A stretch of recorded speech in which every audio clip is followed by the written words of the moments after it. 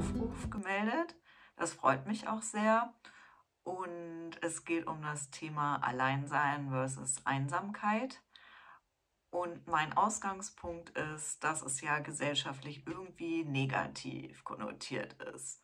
So, warum lebt jemand alleine? Es ist ein Zustand, den es zu überwinden gilt. Davon zeugen die ganzen Dating-Seiten und Suchen. Und ich würde es gerne mal von der anderen Seite angehen. Was sind die Vorteile davon, allein zu sein? Welche Fähigkeiten gibt es uns? Ist es nicht generell eine Fähigkeit, die wir Menschen beherrschen sollten, allein zu sein? Irgendwie war, hatte das sofort bei mir eine gewisse Resonanz, das Thema, weil es mich eigentlich auch schon Zeit meines Lebens so ein bisschen begleitet. Und tatsächlich so ein Phänomen ist genau das, was du auch gerade angesprochen hast, nämlich ähm, im Grunde genommen man kommt in so Situationen, also zum Beispiel, ich fahre manchmal zu Open-Air-Veranstaltungen oder so hin und äh, zelte da. Und äh, dann äh, kommt jemand vorbei und sagt, ach ja Mensch, äh, bist du hier ganz allein? Und also, als wäre das immer so irgendwie was Besonderes.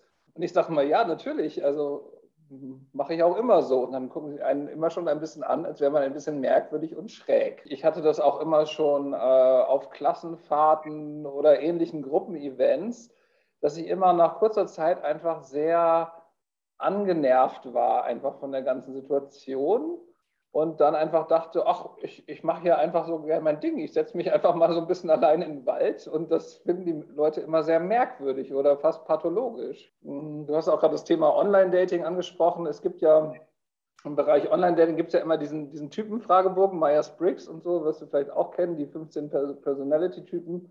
Und da gibt es so ein Item in dem Fragebogen, was so fragt, wenn du äh, in einer Gruppe von Menschen warst, Fühlst du dich danach eher ausgezehrt oder aufgeladen? Und äh, viele Jahre meines Lebens hätte ich geantwortet, ausgezehrt. Also, weil ich es immer sehr anstrengend fand, irgendwie in Gruppen zu gehen. Ich habe das bei mir äh, biografisch ein bisschen untersucht. Das hat bestimmte Gründe, die, glaube ich, auch in meiner Kindheit liegen. Inzwischen geht es mir nicht mehr so. Also, es zehrt mich eigentlich nicht mehr aus, in Gruppen zu gehen. Ich finde es einfach nur neutral. Also es gibt mir halt auch nichts. Also zum Beispiel auch ein typisches Ding, ich bin ja Wissenschaftler, ist ein Social nach einer Konferenz. Da gehe ich natürlich auch hin, unterhalte mich so ein bisschen. Aber dann nach, sagen wir mal, einer halben Stunde oder Stunde, sage ich mir auch, ach, wie schön wäre es jetzt eigentlich mal, sich nett noch ein bisschen alleine die Stadt anzugucken oder noch da ein bisschen irgendwie abends unter den Baum zu setzen und eine zu rauchen oder so. Also sehr vieles erscheint mir häufig erstrebenswert als mit Menschen zusammen zu sein, zumindest wenn es nur so, so ein oberflächliches Smalltalk oder sowas ist. Das heißt ja jetzt nicht, dass ich irgendwie grundsätzlich nicht gerne in Gesellschaft anderer Menschen bin. Ich bin sogar, das wäre dann der Punkt mit dem zweiten Thema Einsamkeit, ich fühle mich sogar öfters in meinem Leben einsam, so ist es nicht. Ja? Aber ähm, man kann sich ja auch, ich glaube, es gibt auch so ein, so, ein, so ein, Sprichwort, also man kann sich ja auch unter Menschen sehr gut einsam fühlen. Ne? Vielleicht ist es auch so ein bisschen so eine, so eine Gesellschaftskritik da drin, dass ich einfach sage, hm, oftmals ist die Gesellschaft anderer Menschen nichts, was äh, irgendwie was gegen Einsamkeit tut, sondern die sind halt so da, haben halt auch ihre Ansprüche, ihre, ihre Wünsche und so. Und das, das kann ich auch, wie gesagt, heute finde ich das alles auch okay und in Ordnung. Aber im Grunde gibt es mir nichts. Also ich würde nicht einfach sozusagen, um nicht allein zu sein, das sagen ja manche Leute, ne? also ich, um nicht allein zu sein, habe ich mal irgendwie meine Ober, oberflächliche Bekanntschaft eingeladen, mit mir ins Kino zu gehen oder sowas. Das, das fiele mir nicht ein. Ja, also weil sozusagen der, das reicht, also das verbessert für mich nichts an der Stelle. Sondern natürlich würde ich mich freuen, mit einer Person, äh, die mir sehr nahe steht oder für die ich irgendwas empfinde, ins Kino zu gehen. Aber ich würde jetzt nicht, um nicht einsam zu sein, irgendeine gesellschaftliche Handlungen vollziehen. Das ist, das ist, für mich ein sehr absurder Gedanke. Ja, für mich geht das auch in so eine Richtung, so ja, das wäre toll, wenn jemand da wäre, also im Sinne von einer idealen Person, die es vielleicht gar nicht gibt, so imaginary friend, aber halt nicht irgendeine.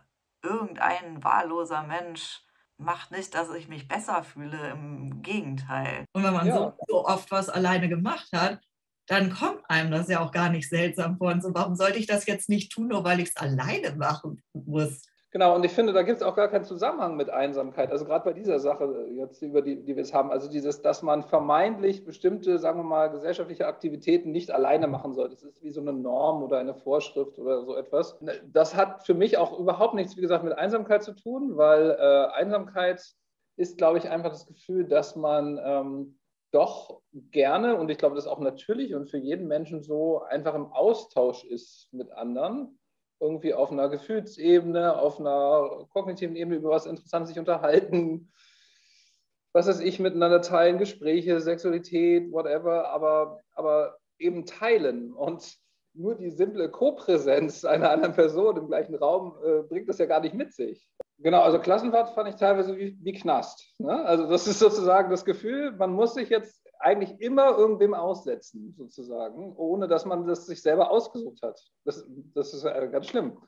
Und äh, es geht mir auch heute noch so mit so Dingen wie ähm, so Pauschalreisen. Da ist das ja im Grunde auch so. Ne? Also, dass man sozusagen auf so eine Bustour macht durch Indien oder so. Gibt es ja so, kann man ja so buchen, habe ich gehört. Das, also, es ist, es ist als, als würde ich für Geld ins Gefängnis gehen. Diese Kindheit hast du angesprochen. Also, da gibt es so eine ganz berühmte Episode, äh, an die ich mich sehr gut bis heute erinnern kann, wo, glaube ich, das mal so, so einen Klick in meinem Gehirn machte und wo, glaube ich, auch meine Eltern verstanden haben, ah, er ist da so ein bisschen anders drauf. Ähm, ich, ich, erinnere mich, also wir waren irgendwie, keine Ahnung, auf einem Spaziergang, es war irgendwie im Wald oder so und ich habe einen kleinen Bruder und wir haben uns halt gestritten und dann, wie das so ist, wenn Kinder dann so ein bisschen nerven, sagen die Eltern so, ihr, ihr fallt euch jetzt ruhig, ne? oder wir lassen euch hier alleine im Wald. So, als sozusagen leere Drogen, die angeblich bei Kindern funktioniert. Und ich habe dann gesagt, ja, dann lasst mich doch alleine im Wald. und dann haben sie gesagt, ja, wir lassen dich jetzt aber wirklich alleine hier im Wald. Und ich sage, ja bitte, dann lasst ihr mich jetzt hier halt alleine im Wald. Also ich, ich muss wohl so was wie fünf Jahre, würde ich schätzen, oder sechs, sieben, so in dem Alter. Also schon in der Lage, so ein bisschen autonom zu argumentieren, aber schon noch ziemlich jung. Und sie, sie haben dann einfach sozusagen das Spiel ein bisschen weitergespielt, mich da so zurückgelassen, sind weitergegangen um die nächste Ecke und dann habe ich gedacht, hahaha, jetzt könnt ihr mich mal. Und dann bin ich sozusagen in den Wald gegangen. Also tatsächlich auch vom Weg weg in den Wald mit dem Ergebnis, dass sie mich stundenlang gesucht haben und ich einen lustigen Waldspaziergang gemacht habe. Und äh, ich hatte auch immer schon ziemlich gute Orientierung, auch allein in der Natur. Und ich bin dann einfach äh, sozusagen so einen Bogen gelaufen und dann äh, zu dem Auto meiner Eltern gegangen und habe sie dort erwartet, so ein bisschen wie bei Hase und Igel. Und äh, also das äh, ist sehr einprägsam, weil das für mich auch so, wie, wie soll ich sagen, so, so ein innerer Sieg war, muss ich sagen, für meine eigene Autonomie damals schon. Ne? Und äh, die Geschichte haben sie umgekehrt und auch immer gerne wieder erzählt, um zu erklären, wie äh, krass autonom ich schon als Kind war. Und, aber das, das trifft es eigentlich ganz gut. Also es, es, war für mich in keinster Weise, auch als kleines Kind, irgendwie eine Bedrohung, alleine zu sein oder im Wald oder in der Natur. Warum? Also habe ich auch nie verstanden, weil alles, das, das ist vielleicht ein bisschen eine philosophische Ebene, aber alles, was bedrohlich ist, ist eh immer der Mensch, meiner Meinung nach, ist nie die Natur. Da kann ich auch nur zustimmen. Und dein Erlebnis gefällt mir sehr gut, auch sehr schön geschildert. Die eigentliche Bestrafung ist eine Befreiung oder wird als Challenge wahrgenommen. Ja, ich hatte mal die Theorie oder aktuell ist eine meiner Theorien, dass es bei Menschen so wie bei verschiedenen Tierformen eben auch so Einzelgänger oder Rudeltiere gibt. Also es gibt ja auch bei den Tieren unterschiedliche Formen. Es gibt ja eine Herde, ist ja was anderes als ein Rudel. Und dann gibt es noch so Kleingrüppchen und eben Einzelgänger, so wie Katzen zum Beispiel. Und ähm, aber das wären ja ganze Spezies dann. Und wir sind ja als Menschen sind wir ja, glaube ich, schon sehr sozial. Umgekehrt würde ich vielleicht auch sagen, also klar, man idealisiert, dann auch immer ein bisschen das, was man halt selber tut. Aber ich würde halt auch sagen, es ist vielleicht auch so ein bisschen, könnte auch was mit Bewusstheit zu tun haben, bilde ich mir zumindest ein. Ich halte mich für einen relativ empathischen Menschen. Ne? Und wenn ich das vorhin so beschrieben habe, dass das sehr lange Zeit in meinem Leben mich die Präsenz anderer Leute angestrengt hat, dann führe ich es darauf zurück, einfach, dass ich deren Gefühlswelt und deren Gestimmtheit sehr stark empfunden habe und mich davon auch gar nicht selber so distanzieren konnte. Und räumliche Distanz hilft dann halt ganz automatisch. Ne?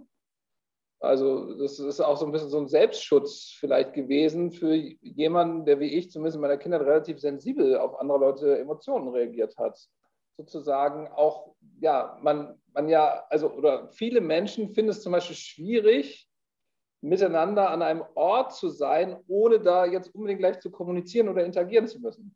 Na, das, das ist super interessant, weil das hast du ja teilweise in Clubs. Genau, Clubs oder Nachtleben sind ja eine Situation, wo man in einer Menge sein kann, aber für sich.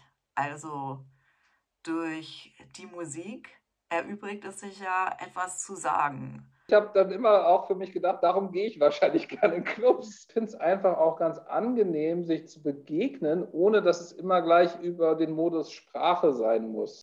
Also ich finde es eigentlich total positiv, sich zu begegnen als Menschen, ohne zu reden. Ich glaube halt, für ganz viele Leute ist Reden einfach oder sprachliche Kommunikation einfach eine Maske. Ne? Und da, da, werden halt ganz viele Dinge aufgefahren, wie man angeblich ist, wie man sich angeblich gerade fühlt. Und oft sagt mein Herz, das stimmt gar nicht, was diese Person mir da gerade erzählt oder ich fühle es, ja. Und dann, dann hat man diese Schizophrenie sozusagen vor sich und weiß gar nicht, wie man damit umgehen soll. Um jetzt wieder auf dieses Alleinsein zurückzukommen, also ich glaube auch ein Motiv, warum ich das manchmal ganz gut finde, ist damit einfach überhaupt das Gelaber endlich aufhört sozusagen. Ich habe jetzt die Einöde gewählt und Berlin war tatsächlich, wie du schon sagtest, energetisch irgendwann für mich too much. Also einfach zu viele Leute, zu viel ständiger Input. Ich war ja gerade praktisch zwei Wochen mit dem Fahrrad durch Frankreich gefahren. Ja, ich habe genau. immer, in der, immer in der Hängematte geschlafen und habe mich da auch extrem wohl beigefühlt. Ne? Ich glaube, dass das Tolle daran ist, es ist eigentlich so, man lebt, glaube ich, im Grunde, also wenn man es idealistisch sagt, wie ein Tier, in dem Sinne, dass man sich nie mehr fragt, was sollte ich jetzt tun? Das ist eigentlich das Spannende daran, ne? an diesem Nomadischen. Also, weil man ja immer mindestens zu tun hat, dass man jetzt zum nächsten Ort kommt. Ja? Also, es, es gibt nie einen Moment, wo man sich vergewissert oder irgendwie eine Wahl hätte, dann ist klar, also jetzt muss ich dahin, jetzt muss ich mir was zum Schlafen besorgen, jetzt muss ich mir was zum Essen besorgen, jetzt muss ich aufpassen, dass es mir nicht kalt wird und so weiter und so fort. Und so, so kommt eins zum anderen und da wird die Zeit dann ganz automatisch extrem kurzweilig und stretcht sich halt so in die Länge. Ne? Und plötzlich kommt es einfach wie Monate vor und also ich zumindest habe mich extrem erfüllt gefühlt, glaube ich, wie lange nicht in meinem Leben. Und wie geht es dir mit dem Gefühl der Einsamkeit? Also wenn das auftaucht, im negativen Sinne, was tust du, um es zu überwinden? Ich habe mich auf dieser Reise in diesen zwei Wochen keinen einzigen Moment einsam gefühlt. Keinen einzigen. Also ich habe niemals das Bedürfnis gehabt, dass irgendjemand bei mir sein sollte. Ich, ich hatte auch überhaupt keine erotischen Anwandlungen oder irgendwas. Es war völlig okay alles. Ja? Also wirklich auch völlig erfüllt und flow, wie man so sagt. Und äh, sobald ich wieder hier war und in meinem äh, Schlafzimmer geschlafen habe, habe ich mich einsam gefühlt. Ja, das ist also ganz merkwürdig. Also ich kann es gar nicht so ganz erklären, aber es ist so ein bisschen, als würde das Sesshafte auch irgendwie auch die Erfordernisse der Partnerschaft mit sich bringen. Klingt ein bisschen komisch, aber so ist es ja auch. Ne? Also man sagt ja anthropologisch, glaube ich, dass sozusagen die Paarbeziehung hat ja angefangen, als wir vom Nomadentum sozusagen angefangen haben, uns sozusagen diese Bauernhöfe sozusagen anzulegen als Menschheit. Also ich glaube auch, jetzt komme ich nochmal zu, zu ein bisschen analytischeren Antworten auf deine Frage mit der Einsamkeit. Also na klar, wir sind halt soziale Wesen, wir sind halt irgendwie doch ja, irgendwo aus der Nummer nicht raus. Und, und, selbstverständlich, und darum zweifle ich auch an diesen Total-Eremiten, dass sie glücklich sind, die, die du suchst. Also vielleicht revidiere ich das auch nochmal wieder, aber ich glaube, ich könnte sehr gut ohne eine Partnerschaft doch auskommen aber nicht ohne diverse Dinge, die andere Menschen so bieten, gewissermaßen, die, die auch im Wesen des Menschen liegen. Also ich, ich versuche mal eine Liste. Also das eine ist sozusagen überhaupt, man verrennt sich allein in Sachen, man braucht jemanden, der einem Kontra gibt. Ja? Also bei Gedanken, die man fasst oder Projekten, die man macht, das ist super nützlich und wichtig. Man, man möchte sich auch kümmern, da bin ich bei dem Hund so ein bisschen auch, ne? also das gehört, glaube ich, auch zum Menschen und ist auch nicht gegendert, auch, auch Männer wollen sich kümmern und so. Ich glaube schon auch Kuscheln, Körperkontakt, Sexualität, klar, braucht man. Ich glaube, das fehlt einem was auf Dauer, sonst äh, ist wahrscheinlich hormonell, biologisch so angelegt. Ähm, und ich glaube auch so ein bisschen überhaupt auch, wie soll ich sagen, auf andere Stimmung kommen, so banal es klingt. Ne? Also einfach durch die Begegnung mit dem anders, der anders gestimmt ist gerade, das hilft mir einfach nochmal, mich selber gewahr zu werden, wie bin ich denn gerade drauf? Und also es gibt viele Sachen, glaube ich, die sind für eine ausgeglichene, äh, entspannte, gebalancete Stimmung im Leben einfach wichtig an anderen Menschen. Also ich glaube, ohne die geht es nicht. Absolut.